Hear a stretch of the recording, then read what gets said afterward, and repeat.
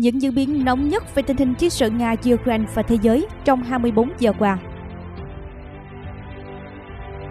Tổng thống Putin thừa nhận Nga không có đủ vũ khí và drone. Đức coi Nga là mối đe dọa an ninh lớn nhất, tiếp tục gửi xe tăng đến Ukraine. Quân đội Ukraine phản công thành công, đạt bước tiến lớn ở Bakhmut và Zaporizhia. Nóng chiến sự, Ukraine phục kích bắn cháy xe bọc thép bắt sống con Nga, giải phóng Makarivka. Các tin tức thế giới đáng chú ý khác.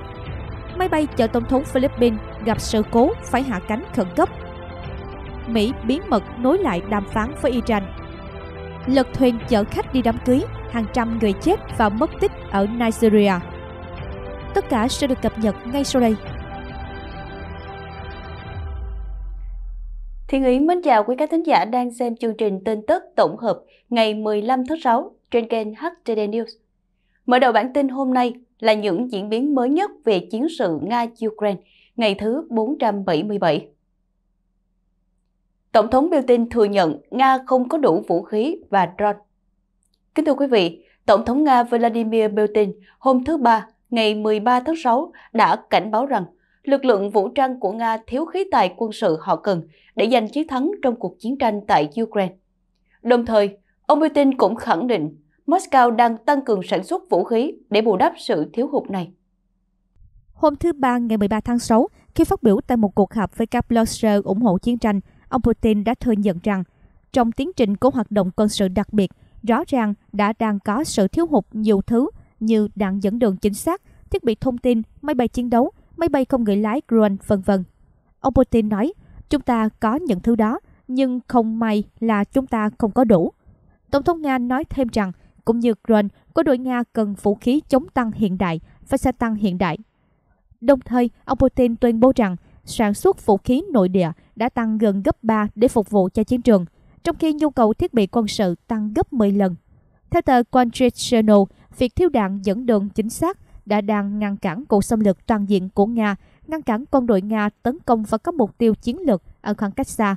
Theo vào đó, lực lượng vũ trang Nga đã đang phải sử dụng các drone điều hướng kém, chẳng hạn như drone Shahed-129 do Iran sản xuất, và thậm chí đã phải sử dụng tên lửa hải quân chống hạm để tấn công vào các tòa nhà dân sinh. Một báo cáo do Trung tâm Chiến lược và Nghiên cứu Quốc tế xuất bản hồi tháng 4 cho thấy các chế tài của phương Tây đang ngăn chặn Nga mua các phụ tùng cần thiết để sản xuất vũ khí tiên tiến. Báo cáo của Trung tâm Chiến lược và Nghiên cứu Quốc tế phân tích cho biết, trong khi chất lượng của thiết bị quân sự do quân đội Ukraine sử dụng tiếp tục được cải thiện nhờ vào viện trợ từ phương Tây, thì chất lượng vũ khí của Nga tiếp tục kém đi. Ở chiều hướng ngược lại, trong những tuần gần đây, Kiev đã và đang nhận được một số xe tăng từ phương Tây, trong đó có Challenger 2 của Anh Quốc và Leopard 2 của Đức.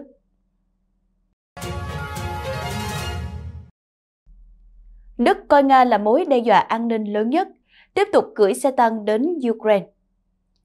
Chính phủ Đức công bố tài liệu cho rằng Nga là mối đe dọa an ninh lớn nhất và ủng hộ cách tiếp cận cân bằng với Trung Quốc.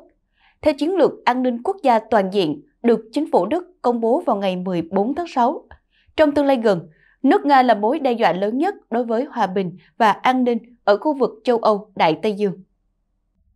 Tài liệu dài 76 trang cảnh báo rằng một số quốc gia đang cố định hình lại trật tự quốc tế hiện tại theo quan điểm của họ về cạnh tranh có hệ thống, ám chỉ các mối đe dọa về thông tin sai lệch, tấn công mạng và áp lực kinh tế từ các nước lớn như Trung Quốc. Chính phủ Đức nhắc đến các mối đe dọa an ninh do biến đổi khí hậu như nguy cơ cao về nạn đói, bệnh tật và xung đột toàn cầu, cũng như các hiện tượng thời tiết khắc nghiệt và thiệt hại đối với cơ sở hạ tầng quan trọng ở Đức. Chiến lược an ninh quốc gia toàn diện là tài liệu mà Liên minh cầm quyền ba đảng của Thủ tướng Olaf Scholz đã cam kết soạn thảo khi ông nhậm chức đến cuối năm 2021. Tài liệu nhằm xác định những vấn đề Đức coi là rủi ro quân sự, kinh tế và xã hội ngày càng tăng đối với đất nước. Thủ tướng Scholz nói rằng điều đó càng trở nên quan trọng hơn từ khi Nga xâm lược Ukraine tháng 2 năm 2022. Trong một diễn biến liên quan, báo Euromaidan của Ukraine hôm 13 tháng 6 đưa tin Đức dự kiến sẽ gửi các xe tăng tân trang cho quân Kiev để bù đắp những xe bị thiệt hại ở chiến trường. Theo như trả lời của Bộ trưởng Quốc phòng Đức Boris Pistorius, Dự kiến từ tháng 7 cho tới cuối năm sẽ có khoảng 100 xe tăng Leopard 1 sửa chữa và tân trang được gửi đi. Bộ trưởng Quốc phòng Đức Boris Pistorius đã nói, Chúng tôi sẽ tiếp tục cung cấp xe tăng Leopard 1 A5 đã được tân trang lại từ tháng 7 trở đi và đến cuối năm sẽ có hơn 100 chiếc. Tờ báo khẳng định rằng, trong giao tranh ở Saborisha những ngày qua, trong khuôn khổ chiến dịch tấn công, quân Kiev đã thiệt hại một số không nhỏ xe tăng cùng với các thiết bị khác. Nhưng tờ báo tuyên bố rằng các con số do Nga đưa ra là các con số phóng đại. Quân đội Ukraine phản công thành công, đạt bước tiến lớn ở Bakhmut và Zaporizhia. Theo Thứ trưởng của Bộ Quốc phòng Ukraine Hanna Malia, lực lượng phòng vệ Ukraine đã có những thành công nhất định trong việc tiến hành một chiến dịch phản công ở các hướng Bakhmut và Zaporizhia. Bà Molia đăng trên Telegram cho biết lực lượng phòng vệ Ukraine tiếp tục tiến hành một chiến dịch tấn công với một số thành công. Trong ngày qua, trên mặt trận Bakhmut, họ đã tiến được từ 200 đến 500 mét ở nhiều khu vực khác nhau.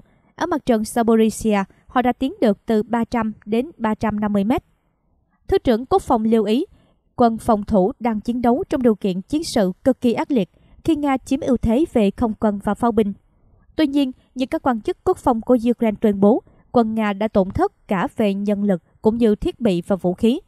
Ví dụ, trong ngày 13 tháng 6 vừa qua, quân chiếm đóng đã mất một khẩu đội pháo tự hành, hai hệ thống tác chiến điện tử, 10 thiết bị ô tô, một hệ thống radar chính xác và điều khiển hỏa lực, cùng một hệ thống tên lửa phòng không.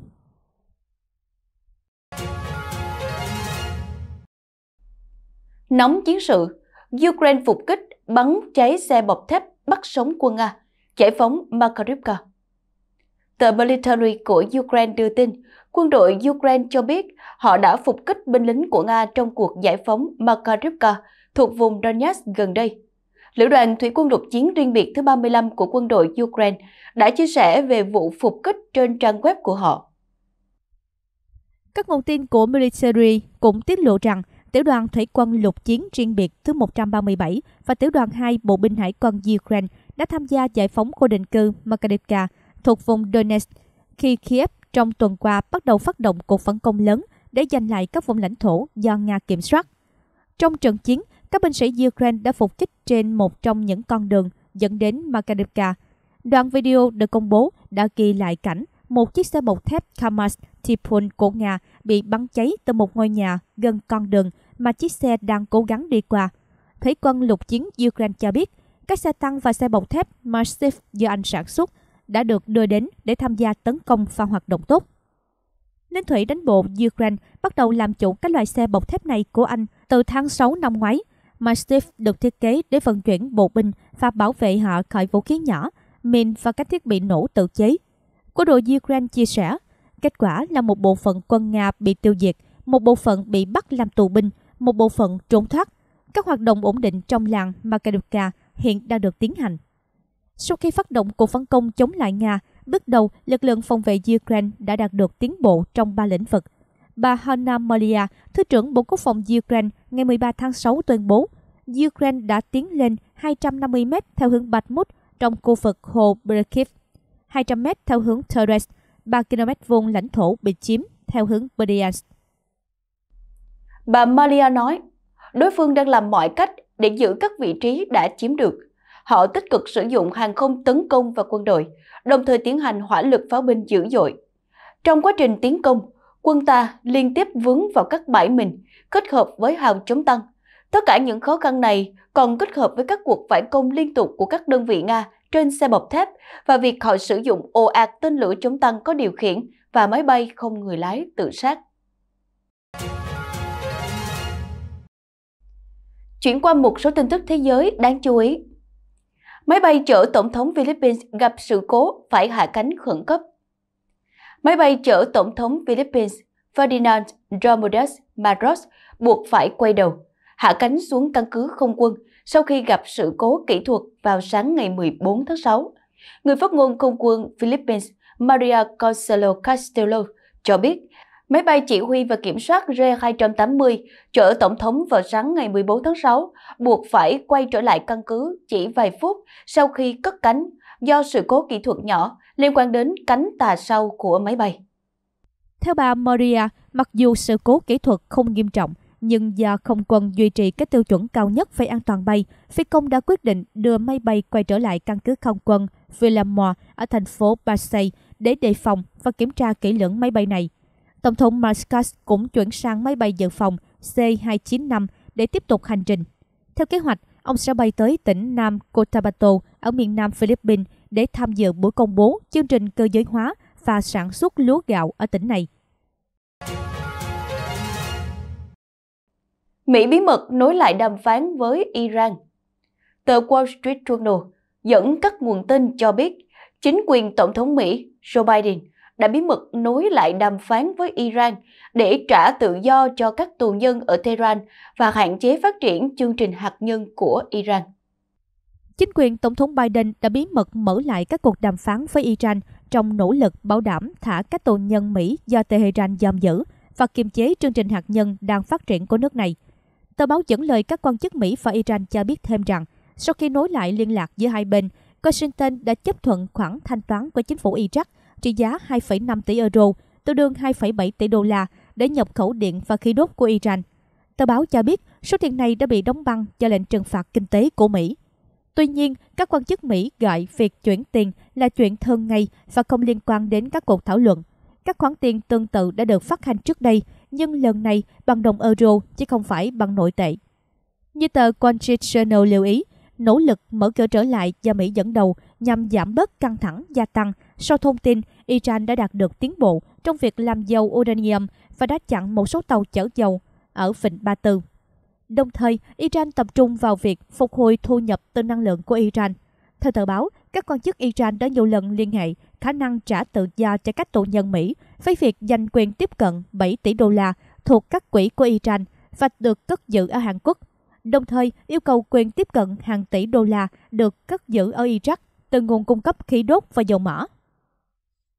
Tờ Wall Street Journal cũng chỉ ra rằng chính quyền Tổng thống Mỹ đang tìm cách che giấu sự thật về các cuộc đàm phán với Iran, bởi vì ngay cả thỏa thuận không chính thức với Iran, vốn nhượng bộ Mỹ về các biện pháp trừng phạt, cũng sẽ vấp phải sự chỉ trích. Điều này đặc biệt quan trọng khi cuộc bầu cử Tổng thống Mỹ đang đến gần vì các đảng viên Cộng hòa và một số đảng viên của đảng Dân Chủ tại Quốc hội phản đối thỏa thuận với Iran. Lật thuyền chở khách đi đám cưới, hàng trăm người chết và mất tích ở Nigeria. Một vụ lật thuyền thảm khốc đã xảy ra trên con sông ngăn cách hai bang Kekwara và Niger ở miền Bắc của Nigeria sau một lễ cưới. Ít nhất 100 người đã thiệt mạng. Theo CNN, hàng trăm người được cho là đã chết đuối sau tai nạn xảy ra vào đêm ngày 12 tháng 6. Các quan chức nhà nước cho biết vào ngày 13 tháng 6. Người dân địa phương cho hay chiếc thuyền gỗ này chở quá tải hướng từ bờ sông phía bang Niger sang bang Guara sau một lễ cưới ở bang Niger. Chiếc thuyền được cho là chở tới 300 người đã bị lật sau khi đâm vào một thân cây chìm dưới nước.